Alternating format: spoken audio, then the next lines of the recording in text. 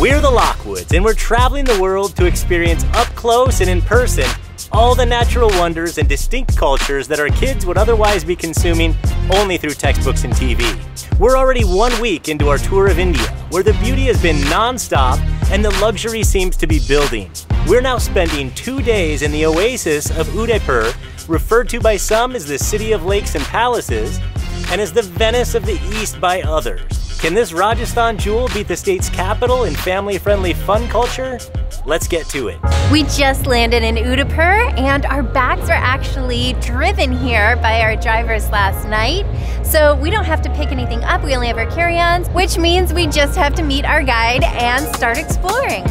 Hello. How you doing? I'm Phil. All this, the drivers, the guides, the tours, the hotels, it was all curated by Inspirato. We're doing a bespoke trip with them. If you want to learn more about Inspirato, go to followabc.com slash pass. With no time to waste, we're gonna head straight to our first activity, which is checking out a couple of temples.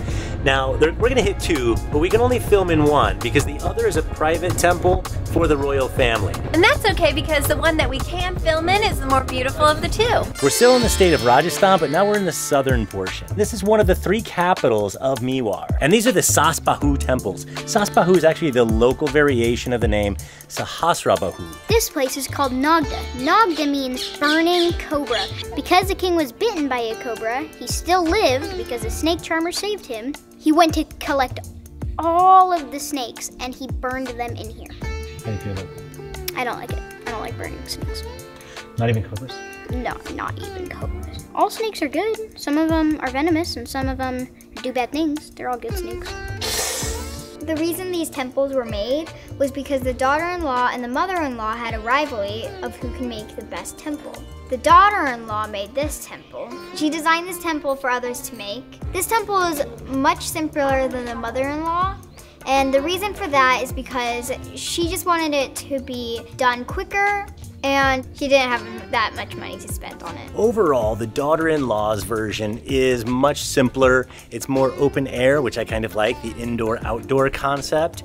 And there's still a lot of detail to the carvings that we have on the exterior here, but it's nothing compared to the mother-in-law's. And as we walk over to that direction, you're gonna notice all of these mini temples along the way. Each one of the temples basically honors a different Hindu god. Now, let's have a look at the mother-in-law. This one is completely enclosed. And we can step in here. I don't even have to take shoes off because this is not an active temple. There's no longer a statue of a god in here. Chances are that statue of a god that was in here was stolen at some point. Notice the window screens here that allow for the side airflow to keep the temperature regulated inside of the temple. And how all of these pillars and all of the decorative work really is individual pieces that fit together kind of like Legos. But the most interesting part is on the outside. Don't mind Cole, he's just looking for geckos. There's so much more detail, so many more carvings here, but they're a little risque. Some of these are of Kama Sutra. There's some a little bit more detailed than others, like this one. And then up there, everybody's having a good time. But not the girl in the middle. She's actually covering her eyes because she's shy. And you can see that a lot of these carvings are missing their faces. And that's because a lot of these temples were destroyed or defaced, quite literally, by Muslims hundreds of years ago. This is a great start to us touring around Udaipur, but we are hungry and we're gonna go have lunch at a place that has just as much history. Devigarh Palace was the royal residence of the rulers of Delwara from the mid 1700s until the mid 1900s, and today is home to one of the most luxurious hotels in all of India. But we're not here to stay, we're here to eat.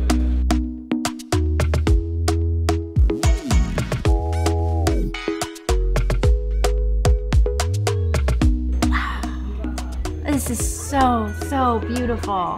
This is gorgeous. Beautiful view to sit and have a four course lunch and that lunch is included with the trip in our package.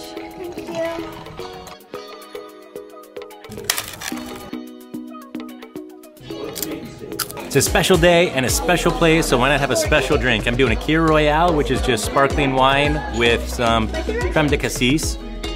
And Aaron, doing a roll standby. Espresso martini. Mmm, once it hits your lips, it's so good. It's been so long since Aaron had a cocktail, she forgot how to toast. I did, I totally forgot. Cheers, my love. Cheers, baby. And lunch starts with a little soup and salad. And for the main courses, we have fish and chicken. There is three courses in one. First up, we have a little bit of vanilla ice cream. Second up, some key lime pie. It's ice cream textured though. Third, I have no clue. Chocolate cake, very saucy. What's your favorite, Colt? Key lime pie. Woo! I'm surprised after that face he made. Really? Key lime. We're gonna eat our dessert. We're heading to the hotel we are actually staying at, and I am so excited about it because we just left the Oberoi in Jaipur, and now we're going to possibly an even better Oberoi resort here in Udaipur. Good afternoon.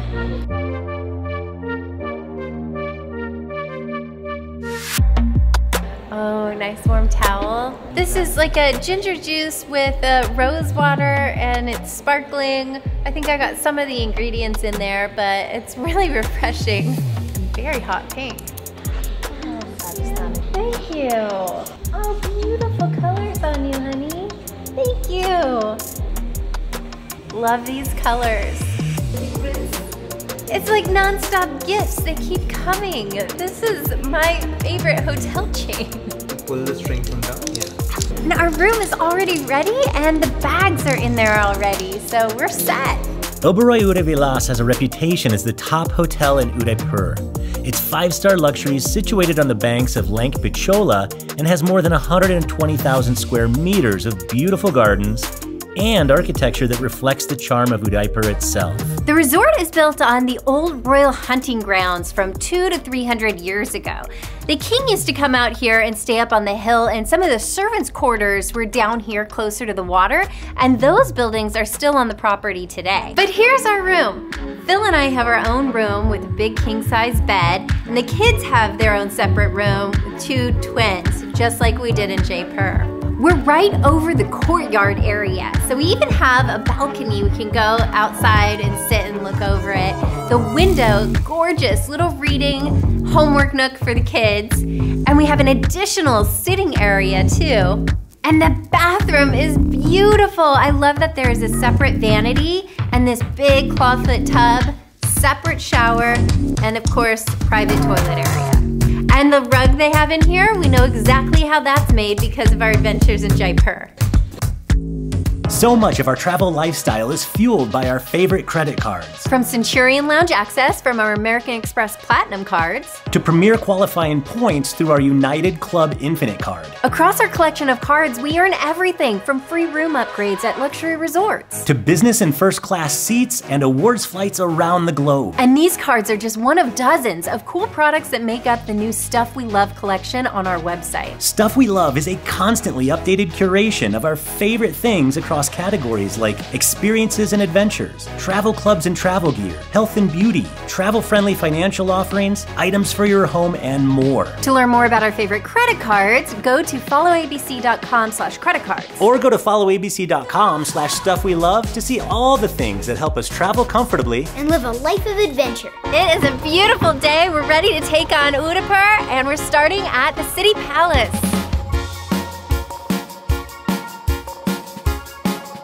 Eagle eyed viewers may recognize the main part of the palace just to the right here because this was the main filming location for the James Bond film Octopussy. City Palace is comprised of three different parts the museum, the royal residence, and a hotel, which is where Roger Moore stayed during filming. It'll be so fun running down this hill. She's gonna like.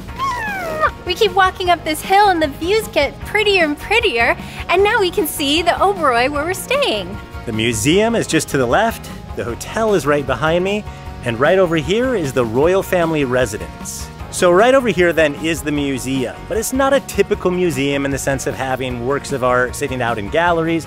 It just means that this is the part of the palace that is no longer an active residence and it's just used as a national monument of sorts. The balcony up here with the colored glass and mirrors was the queen's bedroom, and then just down and off to the side of that was the concubine's room, which, let's be honest, was pretty convenient for the king. Well, maybe he had seven concubines plus the queen, and that's where the name of the movie came from. Let's check out inside. This is the historical genealogical tree of the rulers of Mewar. It's really cool to see that many in a row. Like, this goes back all the way to the 7th century, 6th century.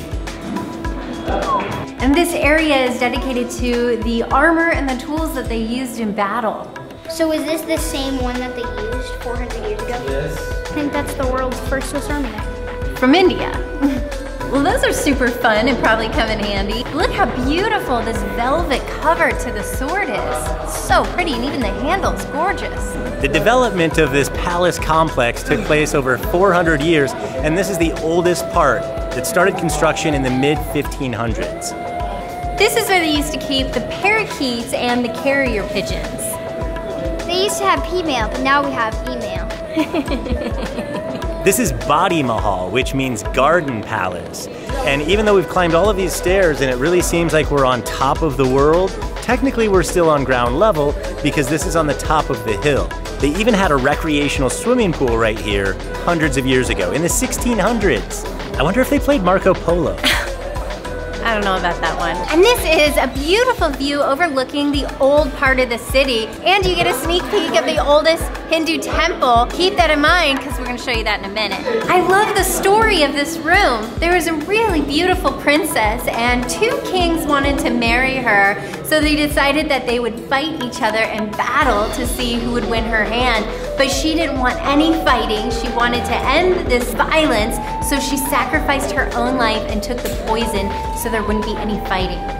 I want to fight with you. This is the Peacock Dancing Courtyard, and the king would sit right up here in his apartment overlooking this courtyard and watch the people dance, just like I would have done if I was in that situation. And then this was his dining room, private dining room just off to the side, where he would eat, just like I would do. Back in the day, those were rubies and emeralds, but now it's painted glass. We're gonna take the secret passageway to get out. This is the largest Hindu temple in Udaipur and it's from the 1600s. And we're gonna climb it if we can cross the street. Namaste. Namaste. Now that we're up here, we need to take off our shoes. Have you ever noticed how stubby the toes of Aaron, Brooklyn, and Colt are? Leave us alone. I feel like I've got pretty unattractive toes. I don't want you looking at them. This is an active temple, so they're doing prayers and people come in and out to worship and also tourists are trying to come in and out and get a look as well. We're gonna stop monkeying around get out of here. Good transition, excellent transition. Looks like it's about to jump down and try and chase me now. We're back on our resort property and we're heading down to Lake Pichola.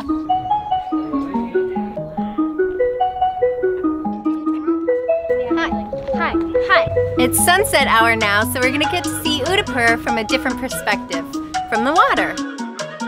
Right behind me is the lake palace that we saw earlier, but this is the front of the palace. This is an 18th century summer palace for the royal family. Most of these homes up here are hundreds of years old, and over there is the city palace where we were earlier today. Right behind me is the city wall, which goes all the way up the side of the mountain. At the very top is the watchtower where they could keep an eye out for approaching enemy from the other side of the mountain. And then just to the left of that are the pink buildings, which are essentially the hunting lodges for the king. And that's where his subjects would take animals and basically push them right in front of him so that he could kill them without having to leave the hunting lodge. Some more recognizable scenes from the movie Octopussy. And the original idea for the Taj Mahal came from that dome over there. That's where Shah Jahan saw it, was inspired, and that's what he kind of based the Taj Mahal big, huge dome off of. Once again, there's way too much to see and do here for us to squeeze everything into just two days. And honestly, our kids wouldn't find that volume of history nearly as interesting as we do. You can only tour so many palaces and temples before the distinctions start to blur for younger minds. But it's safe to say that we've all enjoyed this leg of our India tour the most so far. And we still have a week to go with even more exotic cities and experiences on the itinerary. So please hit that subscribe button and follow our journey. We're the Lockwoods Aaron, Phil, Reagan, Brooklyn, and Cole. We're traveling the world to experience, up close and in person, all the natural wonders and distinct cultures that our kids would otherwise be consuming only through textbooks and TV. We think it's a better way to learn, and we're working hard to fund this little experiment in the hope that our kids will grow up wiser, kinder, and more grateful for the beauty of our diverse planet and its people.